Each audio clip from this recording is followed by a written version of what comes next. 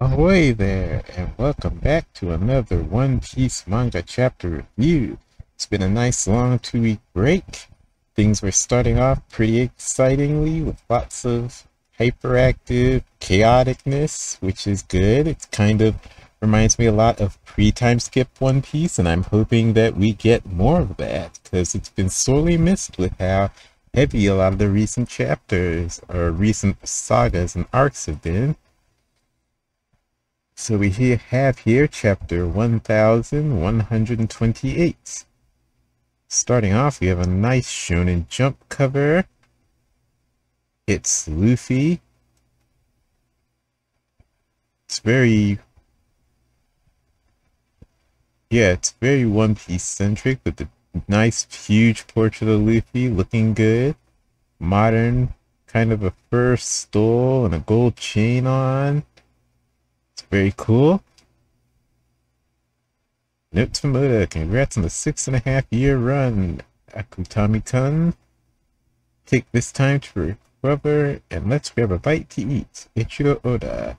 And that is probably for, I think, Jujutsu Kaisen ended this week, perhaps. I believe that's the one that ended this week. So he's probably wishing that mangaka good luck. Very Oda-ish to do. And we have a color spread. Ooh, very nice color spread. It's all of the Straw Hats. Well, is all of them? Yes. Let's see. Yes, it is all of them. There's a giant purple dragon flying behind them, and they are all riding or carrying booms, brooms, excuse me, and wearing black coats. Very reminiscent of Harry Potter, so it makes me wonder if Oda is actually a fan of Harry Potter because this is very Harry Potter-ish. With all the Straw Hats wearing these black coats, that look like the Hogwarts robes, and they're riding brooms. Hmm. I'm trying to remember if I've ever heard something of Oda having read Harry Potter. I feel like I have, so it's not that big of a stretch, but this is a really nice color spread. It's funny, Jinbei is just laying back, relaxing, riding on the head of the dragon. Everyone else is riding or hanging onto a broom. Okay. Into the chapter. A new look. Chapter 1128 RPG. As in the game genre. That would make a whole lot of sense. They Straw Hats all are. The outfits currently do look like they're from a role-playing game, so that would be very interesting. And it would be fitting the setting of this toy looking island so far. So we got Sanji carrying Nami in his arms. Too many dudes around for this to be a dream. Then Nami says, What kind of dreams are you having? In that case, Nami-san, let's fly! And Sanji leaps out of the castle, carrying Nami in his arms. Careful, this place is falling apart. I woke up I woke up on the other end of the town. There's Zoro. I heard a noise and I followed it till like I found this goof beating up a big rabbit. Luffy could have taken that cat line thing, right, Usopp? It already had me in its mouth when it when I came to. I totally lost my cool. Here's where I'm at. Our threads resemble that. Our threads resemble what the warriors of Elbaf are always wearing. But there's no way they have clothes that fit us. We're talking about an island of giants, after all. Nami exploring, touching some of the Lego brick. Let's say this is Elbaf. we have been gigantified? Then again, this tree is definitely fake. Zoro, I think there's people in town. We'll clear this up without chatting to them.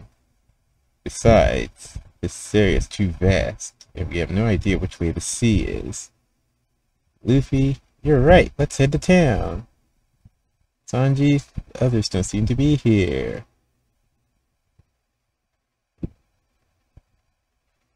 And Usopp, how'd you know? Sanji, my radar isn't picking up Robinson. Sniff, sniff. Nami, are you a hound?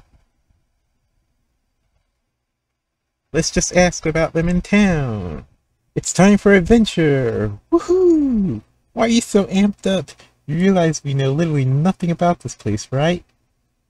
It's such a wide open space, but I can't feel any wind. It's eerie. Don't fear, Nami-san. I'm here for you. Hmm? Something's coming, huh? Wait a minute. Kia! That's gross. Whoa. Hello there. Oh man, a grasshopper. That's so cool. You must be newcomers. So we got a guy riding a grasshopper. Hmm, he's tattooed. He's wearing those Elbaf-ish sort of looking clothes, but his outfit kind of looks a little bit more like a biker outfit. And he's riding on a giant grasshopper. No way, nuh-uh, keep that bug away. Who are you, old timer? Where is this place? We got both. We got both Nami and Sanji backing away very quickly from the giant grasshopper in fear glad that they do remember that Sanji is afraid of bugs. Who are you, old timer? Where is this place? Do you know where our crewmates are? That's a lot of questions. My apologies, I'm in too much of a rush to stay in chat. Just remember, this vast land belongs to the Sun God. God? Even the Big Stein Castle, which I help maintain, is the domain of deities like the great Iskat. Oh, someone lives there? No? A cat? Ah, our bad. You're kind of whoop that cat. to put it simply, this is a land of gods. Now then, I must be off. The needle god must be starving by now. So you got Nami making that Luffy face that he makes when he's lying or keeping a secret. You got Usopp covering Luffy's mouth. Zoro trying to look away and whistle, whistling casually. Sanji's doing the same thing. Now Nami's joining in. All that uproar, the ear god being burned, really delayed me. All the uproar all that uproar over the ear god being burned really delayed me. If you're hungry, head to town for some fodder rations. Also, heed this warning. Do not follow this road. The rabid guardians protect the sun god's temple beyond this point. No one has ever ventured past there and returned to tell the tale. Huh? Why not? That wording, take it back before Fidget, fidget. Hmm. Now Luffy's all interested. He wants to. And then the very next panel, he dashes off in a mad dash. Wait! And we've got Sanji, Usopp, and Nami reaching out, saying, yelling, wait, but it's too late. Luffy's long gone.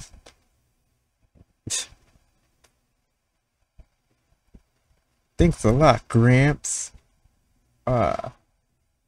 Sorry about all this. Huh? Rabid Guardians, huh? Now Zoro's getting interested, and Sanji yelling at Zora. You and Luffy basically enable each other at this point. Don't you ever think things through? Now the old guy is noticing that the castle is messed up. Huh? What happened to the castle? And now we're back to Luffy running away. This place reeks of adventure. Didn't you hear him? Rabid guardians, gods. Hold up, Luffy. This place is seriously huge.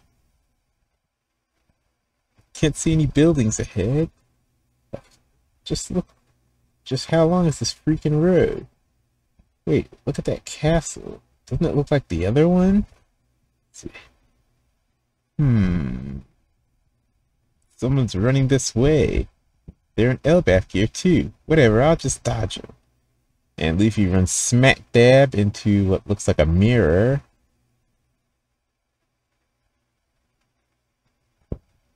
And the mirror is shattering. What? The sky is breaking. What the hell is this? Look, the sky. It's coming from the holy temple. No, over there. What's going on? Everything's going to hell. So we got those townspeople all reacting to the mirror shattering.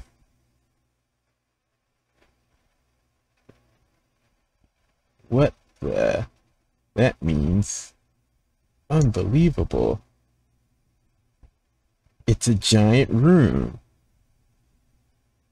Can't still be on that huge ship though. This isn't like any of the cabins they had. What's up with the wire netting?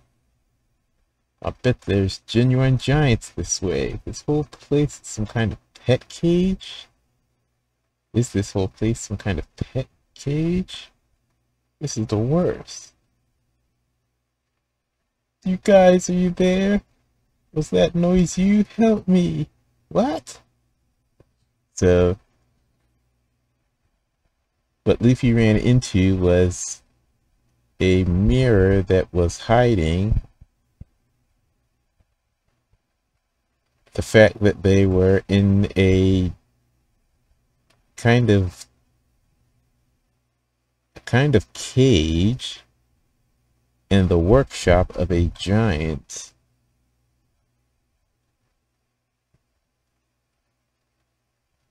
So that means everyone else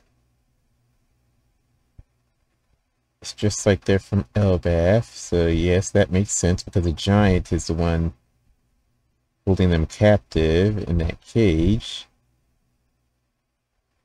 And the animals are giant because the giant is taking Elbaf animals and putting them in the cage with the people. Well, that's very interesting. I'm so glad to see you. It's Chopper. The chopper was on the outside of the cage. There, there, Chopper. Everything's gonna be okay. Got Nami hugging Chopper. The collar was made of steel. I couldn't get it off. I was sure I was going to die. It's clearly a giant's room, so what's with all this human-sized clothing? We saw observing everything. Must have been dressed up like dolls. Still, you owe me. You owe me for this. You owe me for this hug. Huh? That's cold. You were scared earlier too. Still, some this is some fine craftsmanship. This sun god must be very skilled. There's so many of these blocks. That whole country was made out of them. That explains the horrible scent we were grilling up the rabbit. It must have been all the plastic burning. Hey, check it out from here. The view is never ending. Wait, it's see-through now? It's like normal glass on this end. What kind of magic mirror is this? Nami-san, I volunteer to clean the ladies' room on the ship later. Don't you dare! so this is some kind of sick hobby? The giant likes to watch the animals and people trapped in that block world? That's creepy, but this confirms we're on Elbaf, right? It's real giant's room, so there must be a real giant island out there. For real? Heck yeah! How can you be so sure? All we can really say is that a giant's behind this. We should escape. Where the others? It'd be bad if the giant came back and caught us here. Why not head back inside and squeeze the townspeople for more information? They seem a little weird, but it's better to face them than risk a confrontation with the giant. Hey, are you listening, Luffy? Yeah, I thought I'd just blow this guy away first. Now a giant cobra is attacking. Nami, Chopper, and Usopp freaking out. Luffy's bringing back a punch and leaping into the air. Ah, go for it. Squeak, squeak. Now they're giant mice or giant rats. Look down there, rats and above us a crow. Caw! Don't tell me these are those rabbit temple guardians. How's this a temple, though?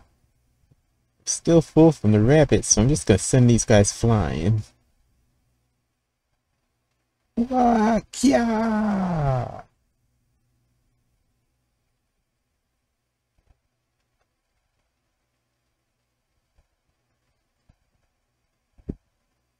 And now we have someone walking and fearing the commotion. This is must be the giant that owns this place. Let's see. We've got boots with fur trim. They're wearing a moose skull on their head, carrying a staff, wearing a black tattered cloak. Hmm, very interesting. And this would be another, the second character we've seen with a skull because there was that, there's that God's Knight character that wears a skull, like maybe a horse skull, I think, or perhaps a cow skull. I think it was like more like a horse skull, or maybe I'd have to go back because I can't remember off the top of my head. I just know he was wearing a skull, and now this character's wearing a skull.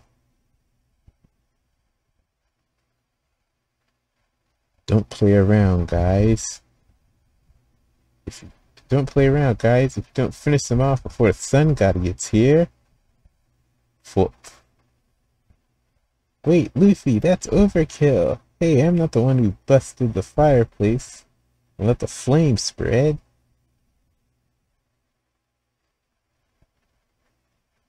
What? It can't be.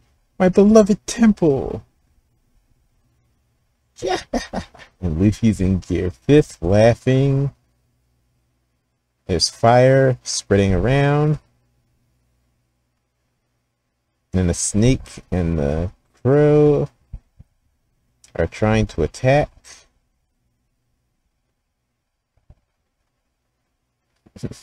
and the giant walks in and sees all this commotion. Luffy, this is bad. The sun god's back. Let's run for it. Ka.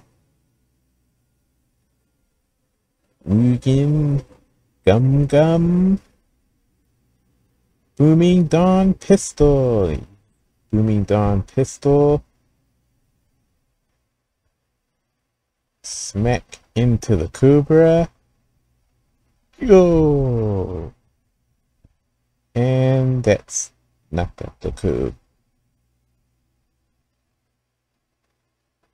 Humangar.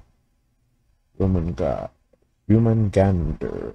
Human gander. Human gender. Human gender. So I guess that's the name of the snake he's yelling out. And Luffy's bouncing around laughing. Hurry, Luffy. The giant is huge. This is so messed up. And now the cat is back. And it's cornering them. Yeah. And they quickly hit it and start riding it. Chopper is translating. It says you'll pay for this. Yeah, yeah. Anyway, look at this. Couldn't find any proper loot, but it's a blueprint for the block country. Hmm? So it's a map. Here they come. How dare you defile my beloved country? Now we've got that giant chasing them, chasing the Straw Hats, so they're riding on the cat trying to escape. If we keep going straight, we'll bust through the mirror on the other side. We'll be free if we smash behind, if we smash the wall behind it too. Great, let's get out of here. What? The sun god is incensed. Now you have the townspeople looking up and witnessing the sun god walking through the country, chasing after straw hats. I won't let you escape. So this is really interesting. I'm kind of yeah, I'm kind of still getting towards the idea that this is Loki. I think pretty much everyone expected that Loki would, if the if that if the Straw Hats were actually on Elbaf, that Loki would be behind what's happening. So it makes sense, and Loki is the prince So it would make sense.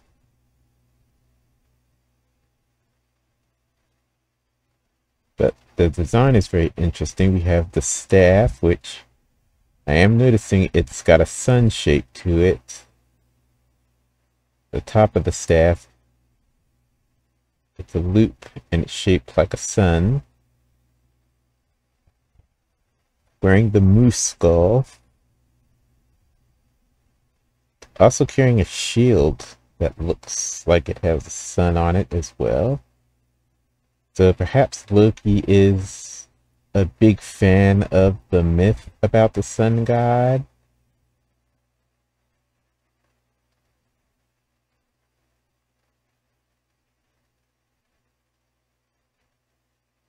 That could be the case, but another very chaotic chapter, which is good. Glad we're keeping up with that. Still feeling very pre-time skip, and hopefully the way this kind of shakes out is the Straw Hats will keep reuniting with and encountering other members as they go through. Because in this chapter they found Chopper. Maybe they'll find another character in the next chapter and so forth until we get to all the Straw Hats being united.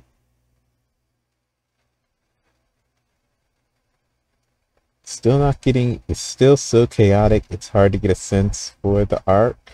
Like, but this is Elbaf, and as I've maintained, Elbaf needs to be a very big arc. It needs to be substantial. So I think we are still in that warming up phase. It's just a lot of chaos as the Straw Hats kind of find out what's going on and get their bearings. As I said earlier, it's very, very pre-time skip, which is good. And it makes a whole lot of sense because Elbaf is one of the islands first mentioned during one of the late stage islands first mentioned during the pre-time skip. So it makes a lot of sense that we should go back to that pre-time skip style for Elbaf.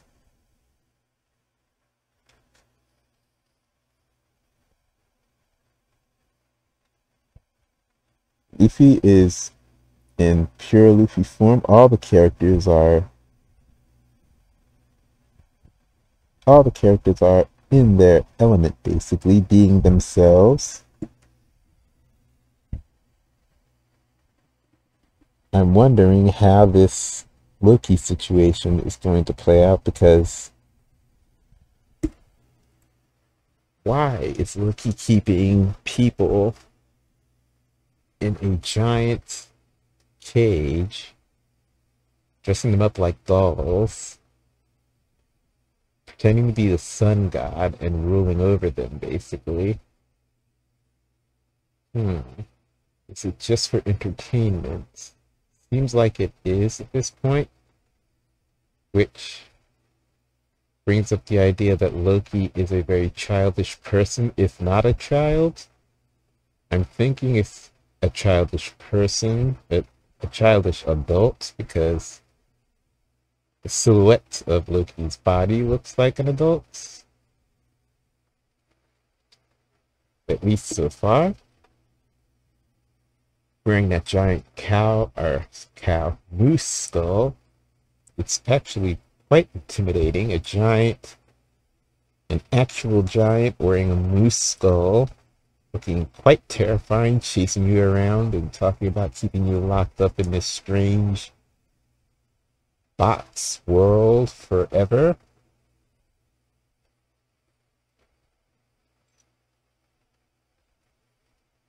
But if they escape here, they will get a sense of Elbaf itself, which would actually be good. It's a good introduction here to the Prince of Elbaf. Most likely what we're looking at here is Loki, Prince Loki. And then once they escape Loki, they will find out that they are on Elbaf and they'll perhaps find out more about the rest of the royals, if there are any other royals. Kind of have to assume that there must be, and what the state of Elbaf is. And this is good because it gives us a sort of sort of short stop stopping point slash adjusting period before we move into Elbaf proper and see what the whole island is like. It's going to be a massive reveal. And it's probably coming up pretty soon if they manage to escape from Loki here, which seems like they will.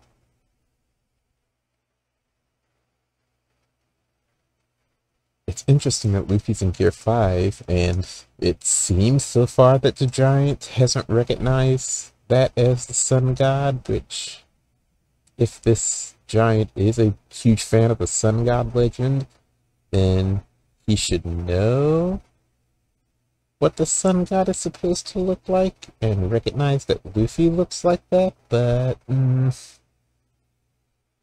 there's a big question mark there because there's so many there's still so many ways in which the story could go.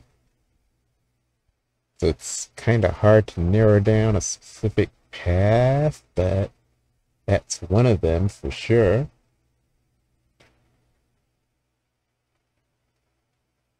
So I think we got another really good chapter. I like it. It's full of comedy, some good action, lots of whimsical. You can tell Oda's having fun with this because there's lots of whimsical drawing, and he's drawing lots of animals, which he loves to do, and lots of Straw Hat interactions. Everyone's acting like themselves. No one's out of character. And because this is one of those very chaotic and hectic things, you can kind of dial the characters, other personality traits up to their maximum. And it works within the setting. So it's very all very good so far. Let's see. Because the thing is, like, Whole Cake Island had that whimsical setup to it as well, but Whole Cake Island, the Straw Hats went in with a deadly serious situation. So, tonally, the whimsy of Whole Cake Island was the opposite of the mood of the actual arc and the undertones of the arc. So far in this arc, there's a lot of whimsy, but it's matching. It's very light-hearted sort of tone of the Straw Hats arriving on this island. There's no real threat so far.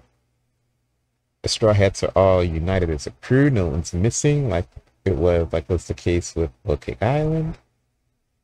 They're not there to save or rescue anyone so far. It's just the Straw Hats being on a new island and kind of figuring things out as they go which they haven't really had one of those since, mm, since I think going back to pre-time skip because since I want to say Shabondy, maybe even before Shabondy, but definitely since Shabondy, the Straw Hats always had their next island in mind and gone to that next island. They haven't randomly ended up on an island. Like, thrown, taken off course, abducted, something like that. They haven't had one of those situations since during the pre-time skip, which is probably why this feels like such a pre-time skip style arc. And it's very refreshing. I'm enjoying it so far. So with that, I think I'm going to end the review here. Thanks so much for watching. Please like and comment and subscribe and I will catch you all in the next chapter review. Until then, take care.